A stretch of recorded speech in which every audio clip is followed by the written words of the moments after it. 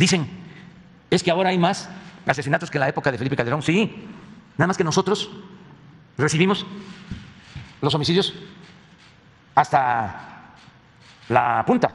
Y lo otro es que falsificaban información del mismo Calderón, que no habla, no dice nada.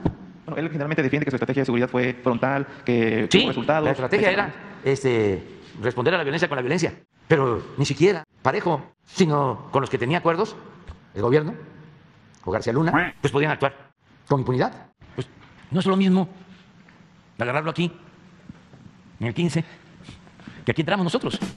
Y aquí no hemos aumentado.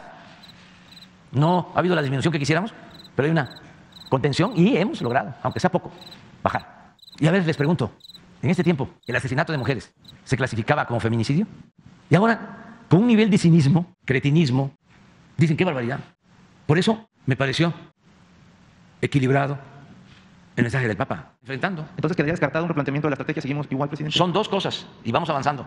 Que pese a que Primero, vez- atender las causas, que nunca atendieron ellos. Presidente. Nunca atendieron a los jóvenes, porque desprecian a los pobres, desprecian al pueblo. Ese es el fondo del asunto. Son clasistas, son racistas. Entonces, ahora estamos atendiendo las causas.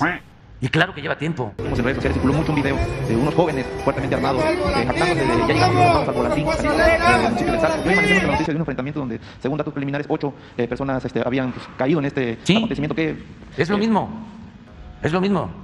Es que tenemos que seguir insistiendo en que se puede ser feliz trabajando honradamente y eh, con las oportunidades que ahora se tienen. Desde luego, lo otro que nos ayuda mucho es no permitir la corrupción y la impunidad. Entonces, cuando dicen cambia la estrategia, no. Y lo segundo que es importantísimo, cero corrupción y cero impunidad. No es más de lo mismo.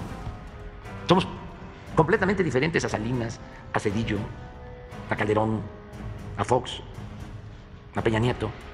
Pensamos distinto de que Junco. eh, no le viene la reflexión que algo podría estar fallando, pues a los jóvenes No, les es eso, que lleva tiempo, que lleva tiempo, pero vamos bien.